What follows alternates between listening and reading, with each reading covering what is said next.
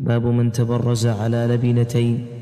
وبه إليه قال حدثنا عبد الله بن يوسف قال أخبرنا مالك عن يحيى بن سعيد عن محمد بن يحيى بن حبان عن عمه واسع بن حبان عن عبد الله بن عمر رضي الله عنهما أنه كان يقول إن ناسا يقولون إذا قعدت على حاجتك فلا تستقبل القبلة ولا بيت المقدس. فقال عبد الله بن عمر رضي الله عنهما لقد ارتقيت يوما على ظهر بيت لنا فرأيت رسول الله صلى الله عليه وسلم على لبنتين مستقبلا بيت المقدس لحاجته وقال لعلك من الذين يصلون على أوراكهم فقلت لا أدري.